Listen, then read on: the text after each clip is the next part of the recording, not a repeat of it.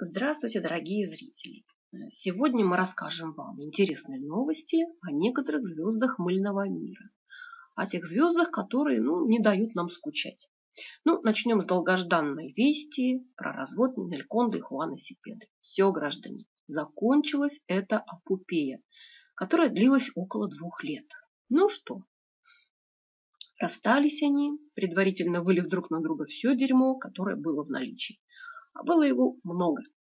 Пару месяцев вся Мексика развлекалась новыми деталями из незадавшейся семейной жизни, убийственной конфетки и бизнесмена, проворачивающего крайне сомнительные сделки. Ну, слава богу, этот сериал закончен. Ждем с новых. Нинель не подкачает, найдет кого-нибудь еще, кто подвергнет ее физическому и вербальному насилию. А там, глядишь, калит на нервной почве или еще чего. И все в последних новостях и с подробностями. Новость вторая – бомба. Рассталась самая карамельно-сиропная пара мыльного мира. Ну, мы имеем в виду Араселя Рамбулу и Себастьяна Рули. Самое интересное, что Рули сделал публичное заявление о том, что они с Арасели пришли к молчаливому согласию разорвать свои сентиментальные отношения, и комментировать он больше ничего не будет. Ну, что значит? Даже не поскандалили, что ли? Или у них действительно был пиар-роман? Ну, недаром Пепило Ригель сразу же написал, что эта парочка всегда была ему подозрительна. Ну, добавим, что это, пожалуй, единственный случай, когда мы с Оригелем горячо согласимся. Сдается нам, что это был пиар и ничего, кроме пиара. Рассели, как и Нинель, из своей жизни устроила такое реалити-шоу. Все на продажу, все на показ, все в прямом эфире. Аршинные заголовки, двусмысленные интервью. Ну, например, ровно год назад у нее был роман с Артуром Кармо. И все издания писали об их неземной любви. Они раздавали интервью, фотографи фотографировались, как прям два зайчика. Артура признавался, что любит детей Расили как родных. А Расили даже говорила, что ждет от него ребенка. Потом ребенок неожиданно рассосался, а любовь прошла, не успев как следует расцвести. Ну вот, что же было дальше? А дальше Себастьян Рулли занял место Кармоны и стал усиленно изображать образцово-показательного влюбленного. И опять же, фото вдвоем, фото с детьми, фото с родителями, а слухи а, не то предстоящие, не то об уже совершившейся свадьбе. Стыдливо потупленные глаза Рассели и скошенные, видимо, от вранья глаза Себастьяна. Ну и, сами понимаете, Рассели хватило ровно на год. Ну, может быть, э, Сеп стал ей больше не нужен, а может быть, она свою часть контракта уже выполнила, кто знает. Не удивимся, что скоро начнется очередной годичный цикл. Кто там у нас свободный? Не хочет ли попиариться с шикарной блондинкой? А теперь маленький скандальчик. Э, Серхио Сендель получил таки заслуженный подарочек от бывшей жены Марселы Родригес. Ну что, она требует полной опеки над детьми и говорит, что после свидания с отцом в них словно демон вселяется. То есть с детьми сладу нет никакого.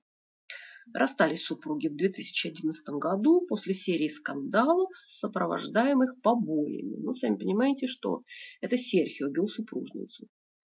Он всегда был товарищем страстным и на расправу скорым. Подвиги его можно перечислять довольно долго. Последний такой случай был в антрепризе Вентюрера, когда Серхио поколотил танцовщика ни за что ни про что. Просто взял его и в стенку, так сказать, э, влепил. А потом были избиения телеведущего Факунду, потом было избиение женщины в баре, парня, который навел на него мобильник. И Серхио возмутился, что его фотографировать будут. Ну, словом, колотил всех, кто попадется под руку. И это не досужие сплетни, это факты, задокументированные с вызовом полиции, с долгими разборками. Ну, мы уже не говорим о пьянстве за рулем. Это уже пустяки дело житейское. На этом фоне тихое домашнее насилие не кажется чем-то из ряда вон выходящим. Так что все в порядке, дорогие товарищи. А, Ларина Рухас, кажется, будет матерью. А, приемной. Потому что Значит, у нее проблемы со здоровьем, вы сами об этом знаете. Ну вот, и теперь вот подошла ее очередь на усыновление ребенка. Она эту новость э, встретила в Америке и, вероятно, вернется в Мексику для того, чтобы познакомиться с будущим своим сыном или дочкой. Она очень счастлива, полна энтузиазма. Ну что же, дай бог, чтобы все было хорошо. Все же Ларена женщина за 40, а маленький ребенок это и бессонные ночи, и масса других всяких забот. Ну а уж когда ребенок входит в подростковый возраст, а мама, а, простите, женщина пожилая, то это вообще тушите свет. Ну, пожелаем ей, конечно, успехов всяческих и надеемся, что все у нее будет замечательно. Ну, а теперь расскажем об еще одной парочке, а, которая тут вот то ли будет так сказать, э, родителями, то ли не будет родителями, это не очень понятно. Ну вот, это Хорхе Салинос и Элизабет Альварес.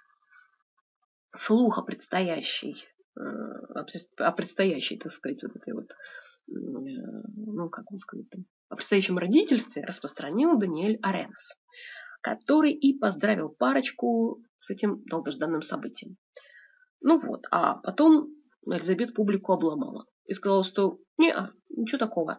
Опровергла, короче говоря, эту новость и сказала, что дети будут тогда, когда оба будут иметь на это время. Вот интересно нам, когда это? Оба работают как подорванные. Хорхе последние три года не слазит с экранов. И даже грозится сняться в очередной новелле вместе с женой. Тянуть-то куда? Когда Хорхе будет 50, а Элизабет 40, так недолго уже осталось. Каких-то 3-4 года. А с другой стороны, это должно больше беспокоить Элизабет. У нее-то как раз вот детей нет, а у Хохи с детьми все в порядке. Целых двое от предыдущего брака с Фатимой Борджо. И его бывшая уверяет, что он ей на детей не доплачивает. И вообще он с ней не развелся. И пусть только попробует приехать в Перу, она родом оттуда. Уж там ему покажут мать Кузьмы за двоеженство. А уж какие высокие отношения у Хорхи были с Фатиной, просто словами не передать. Ни один Сэндель у нас отличился домашним мордобоем. Салинос тоже приложил к жене, только не руки, а ноги. Метелил бабу ногами. Куда достал, туда и метелил. В общем, классный мужик. Ну что ж, на этом мы наши новости завершаем. Подписывайтесь на наш канал. Встретимся с вами в ближайшее время. До свидания.